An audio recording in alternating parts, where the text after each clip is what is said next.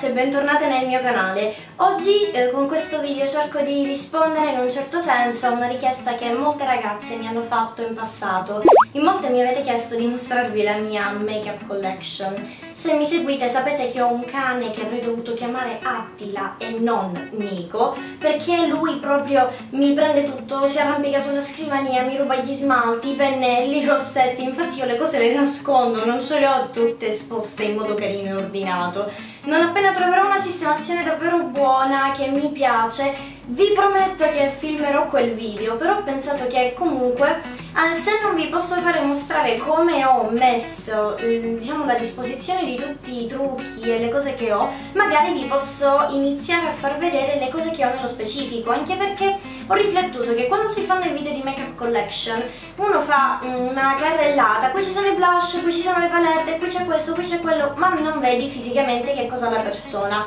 Quindi magari io faccio il processo inverso, vi mostro quello che ho e poi dopo vi farò vedere la disposizione di tutto se Nico permetterà un giorno o l'altro. La prima cosa che vi vorrei mostrare è un, la mia collezione, tra virgolette, di rossetti di Kiko. Tenete conto che tutti quelli che vi mostro li ho comprati in tre anni, tre anni e mezzo quasi. Non uh, utilizzo tantissimi rossetti, io prendo quelli che penso davvero di poter indossare perché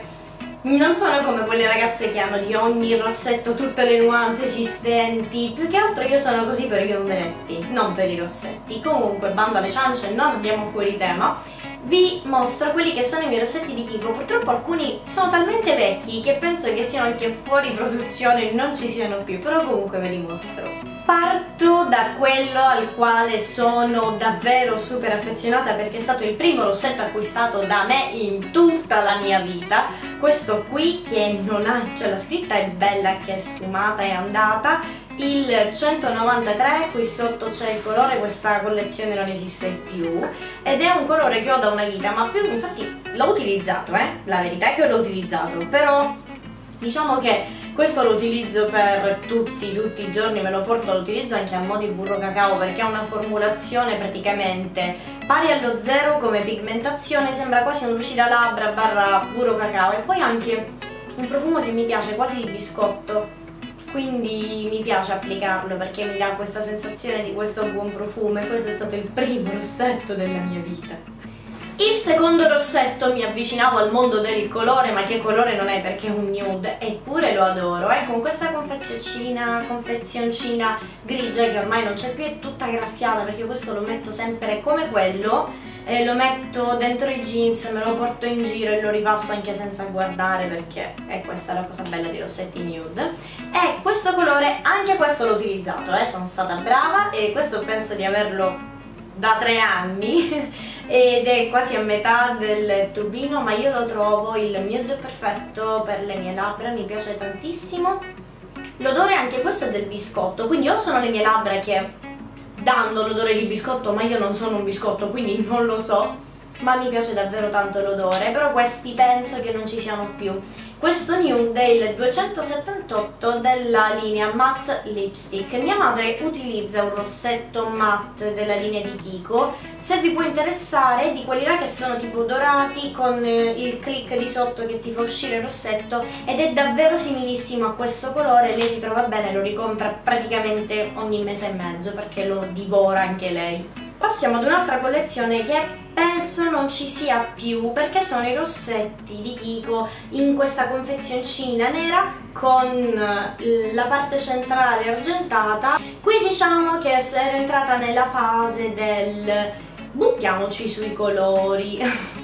Questo rossetto, proprio il 92, l'ho utilizzato in tantissimi tutorial, soprattutto all'inizio quando ho iniziato a fare video, perché è un rosa Um, è un nude che tende al rosato, mentre invece quello che abbiamo mostrato prima tende più al beggiolino, marroncino, questo invece è più rosa e anche questo l'ho utilizzato tutti i giorni, però devo dire che la formulazione non mi fa impazzire. Oggi però col senno di poi vi dico che non mi fa impazzire, all'epoca mi sentivo super figa, ho detto wow guarda che figo questo rossetto, me l'ho comprato. Talmente contenta di averne presi altri due di cui uno è una cosa schifosissima forse questo o l'altro ve lo faccio vedere. Comunque tutti hanno una sorta di difetto nel packaging secondo me non li ho quasi utilizzati potete vedere praticamente sono quasi totalmente interi. Non so che cosa pensavo quando li ho comprati perché veramente comunque sembra quasi che ti sta per rimanere questa parte in mano perché proprio sembra troppo cedevole comunque.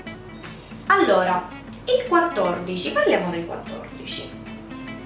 questo qui penso che sia eh, o diventato matte o è matte perché comunque è molto molto secco e tende anche questo um, verso il nude marroncino però dà decisamente colore alle labbra non è uno di quei nude invisibili. E devo dire che questo l'ho riscoperto perché visto così nel tubicino non gli avrei dato un centesimo. Quando poi ho avuto intenzione di riprendere a fare video così ho detto ma wow e l'ho utilizzato qualche volta in estate però non mi piace proprio tanto la formulazione di questi e questo ragazzi è veramente un rossetto da nonna, non so perché l'ho comprato, mi ricordo che era nei cassettini, nei banchettini quelli delle cose a un euro e quindi io mi faccio casare sempre, ero all'inizio, sì compriamo! E ho comprato un rossetto marrone, marrone, io non ne uso, a parte che è proprio rotto e non l'ho mai utilizzato se non per sbocciarlo, cioè allora se oggi col senno di poi io applicassi sotto o sopra una matita differente o qualcosa, sì, potrebbe andare, ma un rossetto marrone proprio da donna grande, non so che cosa pensavo quando l'ho comprato. Altri due rossetti che, diciamo, mi hanno portato ad entrare un po' nel mondo del colore, ma sono partita sempre prima con un nude e poi sono andata sul colore, sono questi qui, gli ultra glossy. Allora, gli ultra glossy mi piacciono mi piace l'odore, mi piace la formulazione, però è chiaro che essendo glossy durano, lasciano il tempo che trovano. Il nude che ho preso, che è stato il primo, è l'802, devo dire che la formula è molto cremosa, molto cremosa, però essendo nude dura poco anche per questo, al di là dell'essere glossy e cremoso non è assolutamente matte, infatti si chiama ultra glossy, sembra quasi un lucida labbra, quindi comunque ci può stare da tutti i giorni, lo puoi ripassare se va via. Il primo rosso che io abbia mai preso, questo rosso fragola, molto lucido, quindi comunque il primo rosso che prendi e lo prendi lucido che si nota ancora di più, sì, mm, vabbè, eh, errori, comunque non è un rosso molto intenso, tende più al fucsia, quindi diciamo un rosso fragola e mi piace tanto questo, mi piace tutto l'anno e devo dire che pur essendo glossy non ha una durata proprio pessima, pessima, comunque è pigmentato, ha un'ottima pigmentazione e quindi dura. L'effetto glossy va via, è chiaro che non durerà mai come un rossetto matte, però se volete approcciarvi ai rossetti rossi provatene uno così per vedervi, perché poi sapete magari che va via, se invece mettete un matte molto resistente magari vi sentite a disagio tutta la sera se non ci siete abituate. Provate qualcosa del genere che sapete sapete che comunque con un tovagliolino, bevendo, mangiando va via. E se vi sentite a vostro agio lo rimettete oppure comunque state serene che non l'avrete ancora sulle labbra. Poi c'è stata una collezione natalizia, questo qui praticamente considerate è stato nel 2012 2012 se non erro. Io eh, tipo un terzo quarto video che ho pubblicato su youtube in cui vi parlo di questo rossetto non ricordo il nome della collezione ma era una collezione natalizia infatti il packaging è bianco, satinato e poi questo era il colore. Che praticamente se ci fate caso il borgogna è il colore autunnale e invernale da due anni ormai. Quindi sì era questo. E ricordo che io andai da, eh, alla Coina a sbocciare il Diva e siccome sono state antipatiche le commesse e mi era sembrato di trovare una somiglianza con questo di Kiko decisi di andare da Kiko, li ho sbocciati assieme perché non avevo pulito lo swatch della mano e mi sono resa conto che praticamente sono davvero dupe, davvero dupe, solo che quello di MAC è decisamente matte, questo è super super super cremoso, quindi quando la mettete dovete mettere una velina alla cipria, dovete fare in modo che rimanga lì fermo perché i colori scuri se vanno via è un pastrocchio, fino a quando un nude ti può ripulire, ma vi immaginate questo? Sembra che avete ficcato la testa in un piatto di pasta col nero delle seppie. Però comunque è bellissimo e io lo trovo l'esatto dupe identico del Diva di MAC ed è il numero 06 di quella collezione di Kiko di cui non ricordo il nome. Sto cercando di andare in ordine praticamente cronologico e poi, dopo aver preso questo rossettone subito scuro, mi sono lanciata invece su questi che sono nella linea permanente, li trovo ottimi, non so se abbiano un nome specifico ma comunque il packaging è questo e li trovate ancora da Kiko perché li vedo sempre là e di questi ve ne ho parlato anche nei prodotti di top di Kiko che ho fatto proprio il video. Sono partita sempre dal nude cioè di ogni collezione io provo sempre il nude perché dico se il nude mi piace figura di quelli che sono molto pigmentati il nude tendenzialmente va via basta che respiri. Quindi se questi nude sono buoni evidentemente la formulazione è buona questo nude nello specifico, allora, tende a cancellarmi le labbra perché veramente mi sento un po' Nicki Minaj quando lo metto, però lo modulo, vado a mettere sopra una tinta più rosata e viene un colore molto bello. Il problema di questo è che è talmente tanto cremoso, talmente tanto che poi mi fa tutto lo striscio all'interno delle labbra ed è una cosa che odio, mi dà un fastidio, a parte a livello estetico mi dà fastidio perché proprio la senti quella linea dentro le labbra dà troppo fastidio. Quindi diciamo che questo nude è buono il colore, se modulato, stratificato e tutto, però la formulazione del nude no. E stranamente il 914, che è quello che indosso adesso, invece non è così. Questo qui lo amo, veramente è meraviglioso, meraviglioso perché e lo puoi sia picchiettare sia mettere a colore pieno ed è questo ovviamente meno scuro di questo qui che è secondo me il dupe di Diva ma lo trovo perfetto per l'inverno, lo trovo perfetto per la primavera anche. Andando avanti eh, mi ricordo che presi contemporaneamente lo stesso giorno con mia sorella un gloss ed anche un matitone rossetto matte finalmente. Allora, il gloss è Extra Volume Lip Gloss Plumping and Moisturizing Action. Questi qua ci sono ancora, linea permanente. Il mio è nella tonalità 20.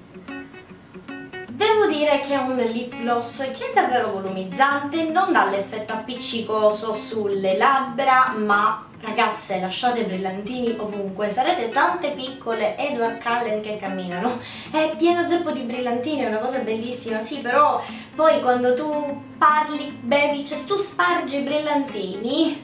lasci la tua scia, tipo pollicina, anziché le briciole lasci i brillantini, però comunque è un buon gloss, ma trovo che ce ne siano anche di migliori. La cosa buona è che non ti dà quell'effetto appiccicaticcio e lo stesso giorno presi della Boulevard Rock Rock Idol Lipstick, il mio primo matitone matte e qua ragazze ho iniziato a gettarmi sui colori sgargianti, andiamo di fucsia super intenso, questo mi piace tanto, lo utilizzo anche in inverno, basta che metto una matita scura di sotto, una matita labbra scura e poi vado a fare tipo topping sopra, tipo top coat con questo che comunque è matte e vado a opacizzare qualsiasi cosa ho messo, anche una matita un po' più, un po più scintillante. Questo qui era e nella tonalità 06, forse qualcosa della Boulevard Rock c'è ancora in negozio e sui siti online se vi può interessare e trovo che sia un ottimo matitone. Comprato questo ho iniziato a comprare anche rossetti e tinte un po' più pazze che avete avuto modo di vedere anche in altri video. Ultimo acquisto, prima di andare a fare gli altri, lunedì sarà il mio compleanno, ma penso che voi vedrete questo video quando il mio compleanno sarà già passato, quindi potreste sapere, anzi vi dico già in anticipo perché lo so, che ci sarà un video haul di Kiko perché c'è tutta la nuova collezione Rebel Romantic, tutti quei rossetti e il set del contouring, voglio prendere tutto, quindi stay tuned. Comunque l'ultima cosa che ho preso da Kiko, ma già ci sarò stata quando voi vedrete il video, è questa tinta... Eh, come si chiama? Aspettate, Double Touch 10 Hour Lipstick è un eh, rossetto, una tinta che ha anche la parte di gloss che ho utilizzato solo due volte ma questa tinta ragazze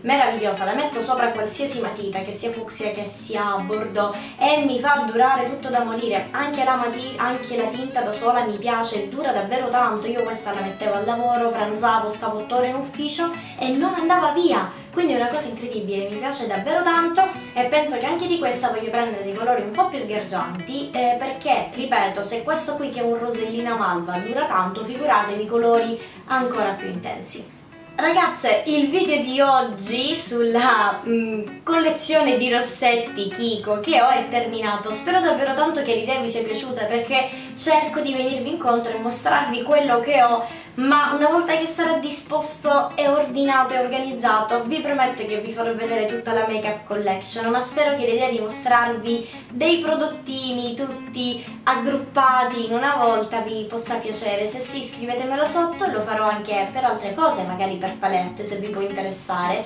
Vi mando un grossissimo bacio ci vediamo al prossimo video